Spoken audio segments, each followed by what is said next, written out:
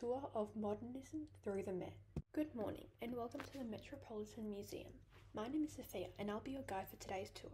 Before we begin, I'd like to tell you about the history of this beautiful museum. The Met was built on April 13, 1870 and opened to the public in 1872. Its architectural style is Beaux Arts, which was inspired by the grandness and classical influences from the Greek and Roman eras.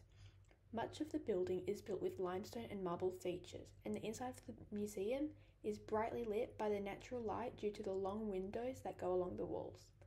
In 1880, the, the Metropolitan Museum moved to its current site in Central Park. American citizens wanted Central Park to be a cultural showpiece as well as a pastoral retreat.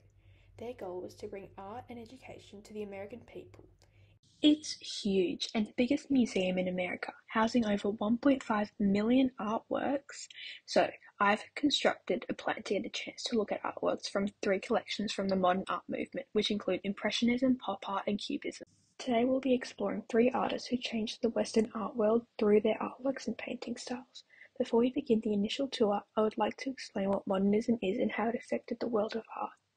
Modernism brought plenty of new techniques such as new brushstrokes and use of different colors and materials, but first and foremost, how the artists wanted to express themselves. In the 1960s, modernism took its place in the modern world and became a key idea in the art world. Enough chatter from me, let's get started. First, we will visit room 774, which is where all the Impressionism artworks are located. Impressionism was a movement that had started in France in 1860 and was defined by desire to capture the moment's visual impression, particularly in terms of the way light and color were changing. Key artists include Pissarro, Monet, and Sisley. New perspectives and understandings of the world were made possible by the camera. Artists started experimenting with non-traditional angles, compositions, and frames that were influenced by photography. The emergence of movements like Surrealism and Cubism, which aimed to portray various disciplines and of course was aided by this movement. He painted the hillside pastures, September in 1922. It is 66 by 73.3 centimeters, and Metcalf used oil and canvas, which is a method of painting involving the procedure of painting with pigment with a medium of drying oil as the binder. As the binder. Willard Metcalf was born the 1st of July 1858 in Lowell, Massachusetts. Metcalf's parents, who were also drawn to the arts, saw their son's potential early on and supported his appropriate training. Metcalf was also the first student to be awarded a scholarship to the Museum of Fine Arts School, which he attended from 1877 to 1878. Furthermore, he also attended evening life painting lessons at the Lowell Institute. Metcalf used oil paints because of its rich colors and its ability to seamlessly blend in. Like other Impressionists, Metcalf would have likely painted in plein air, or outdoors, to capture the effects of natural light and atmosphere directly from nature. He would have carefully observed the landscape, noting the colors, shapes, and nuances of the scene. Metcalf embraced plein air painting, which entailed creating paintings outside, straight from nature, much like the French Impressionists did. This gave him the ability to depict the light and atmosphere's effects with the spontaneity and immediateness that characterized Impressionist work. There are many ways that Metcalf could have made the painting, but he most likely started by studying the landscape and doing sketches. He was better able to comprehend the scene's composition, lighting, and general atmosphere thanks to these rough sketches. Once the sketches were complete, he would have painted the picture layer by layer, starting in the backdrop and moving towards the foreground. It's possible that he combined palette knife and brushwork methods to provide depth and texture to the scene. Metcalf would have signed and varnished the painting after he was happy with it, readying it for display or purchase. Hillside Pastures, September conveys a timeless admiration for the splendor of the natural world and serenity that can be found in uncomplicated time spent in reflection. It embodies the idea frequently associated with the Impressionist movement of capturing the transient yet significant moments of life, inviting viewers to pause, ponder, and take comfort in the peace of the countryside. Regarding symbols, the painting's background, which is an enormous sky, can stand for immensity, liberty, and limitless possibilities. It emphasizes the sense of openness and expansiveness that is inherent in the environment and provides a backdrop to the serene sight below. We will now be visiting the Cubism section of the museum, which is where our next artwork is kept. Cubism was a groundbreaking new method of depicting reality that was developed in the years 1907 to 1908 by the artists Pablo Picasso and Jules Braque. They combined various points of view on the same subjects, usually objects and figures, producing paintings that seem fractured and abstracted. Cubism is the notion that art evaluate nature or that creators should use conventional perspective, modeling, and foreshortening techniques was rejected by Cubist painters. Rather, they aim to draw attention to the canvas's two dimensions. Thus, they reduced and shattered objects into geometric shapes, which they then rearranged into space that was shallow and relief-like. Additionally, they employed several or opposing points of view. Our next artist is Paul Klee, who was a Swiss-born German artist. His highly individual style was influenced by movements in art that included Expressionism, Cubism, and Surrealism. The main emphasis on Klee's academic training was on his sketching abilities. Before joining German symbolist Franz von Stuck workshop in 1900, he studied for two years in a private setting. In 1920, Klee created the Temple Gardens that measured 23.8 times 30.2 centimeters where he used gouache and traces of ink on three sheets of paper mounted on paper mounted on cardboard. Gouache is an opaque watercolor that is made of natural pigment, water, a binding agent, and occasionally extra inert substance. The painting depicts a fantastical landscape with a series of geometric shapes and patterns arranged in a dynamic composition. Klee occasionally enjoyed using scissors to rework his works, he may have divided the piece into three parts and shifted the central one to the left because he felt the piece appeared too symmetrical in this instance.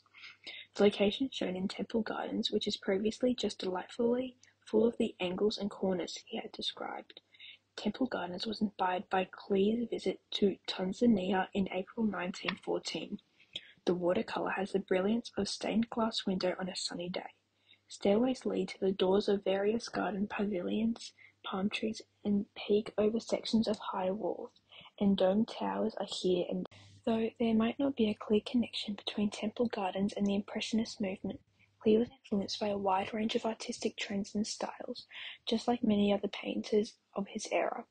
Still, his art is usually regarded as belonging more to the larger modernist style than to Impressionism in particular. Temple Gardens alludes to a relationship between architecture and the natural world. The artwork might examine how the natural environment and man-made structures interact, maybe pointing to a synthesis or peaceful cohabitation of the two. One could consider the title itself to be a symbolic component. Temple can conjure images of worship, spirituality, or holiness, whereas gardens might represent development, rebirth, or the natural world. Our final part of the tour is the pop art area, where we will find out more about pop art. Pop art is a British and American art trend that is first appeared in the middle and late 1950s. A fascination with mass media imagery, materialism, and popular culture defined it. Pop artists frequently included elements of mass culture, such as advertising, comic books, product packaging, and other components into their artwork. Several artists were crucial to the growth and popularity of pop art. To, name a few, Andy Warhol and Tom Wesselmann, Pop art celebrated consumer culture, mass production, and everyday objects, often depicting familiar items like soup cans, soda bottles, and comic book characters. Consumer culture flourished in the years following World War II, especially in Western nations like the United States and the United Kingdom. Pop art emerged as a result of the expanding economy and rising consumption displaying mass-produced graphics and common consumer goods. The final artist that we will be looking at is Andy Warhol. He explored themes of celebrity culture and the widespread use of mass media imagery were frequently explored in Warhol's artwork.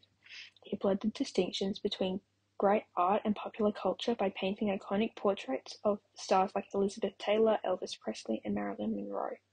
Created in 1962, Warhol's series of paintings with Campbell's soup cans is among his most well-known pieces. These paintings, which combine several pictures of Campbell's soup cans, are praised by their audacity and minimalism that have come to represent the pop art trend. But that's not the piece that we'll be looking at today. Today we'll be looking at Mona Lisa, painted 1963 and measures by 111.8 times 73.7 centimeters. Warhol used acrylic on silk screen on canvas. For an artist like Warhol, who frequently produced large-scale commercial works, silkscreen printing and acrylic paint are reasonably accessible and reasonably priced materials. He was able to produce work using these materials that were both aesthetically pleasing and profitable. But how does Warhol create his works? Typically, Warhol drew inspiration for his silkscreen prints from pre-existing images. He most likely used a print, magazine, or book to obtain a copy of Leonardo da Vinci's well-known painting from the Mona Lisa. Printing can start as soon as the silkscreen is ready. Warhol would ink the top of the silkscreen after putting a canvas or piece of paper underneath it. The image is made by pushing ink through the gaps of the screen with a squeegee and onto the surface underneath. Warhol might have manually added further features or decorations to the image after it was printed. To further personalize the work, he may do things like add brush strokes, splatter paint, or apply other mixed media components. Warhol was able to create many different versions of the Mona Lisa using silkscreen printing, each with its own unique style and while keeping the famous images of the original painting. Using celebrity culture references, Warhol's representation of the Mona Lisa fits within his larger look into the cult of popularity in modern society. Warhol blurs the distinction between high and low culture and challenges viewers to re-evaluate the meaning and relevance of the original artwork by taking an iconic image from art history and reinterpreting it into his own lens. Pop art movement by Andy Warhol and Impressionism have a similar significant influence on modern art and culture. Following movements and artistic breakthroughs were made possible by their concentration on portraying the essence of modern life and questioning conventional rules of art. Although there may not be a clear connection between Impressionism and Andy Warhol's Mona Lisa, there are subject and logical similarities between his work and the concepts that Impressionist paintings explored. Warhol's version of the Mona Lisa reveals his openness to experimenting with fresh materials and methods for his artwork. By incorporating popular culture and mass media into his artwork, Warhol broke down the barriers between traditional artistic practice and laid the groundwork for later movements and advancements in contemporary art. Pop art is sometimes linked to practice of artistic appropriation, which is demonstrated by Warhol's exchange of the Mona Lisa. Warhol blurs distinction between originality, limitation, and raises issues regarding the nature of creative creativity by taking pre-existing images from popular culture and reconsidering them into his art. Thank you for visiting the Met.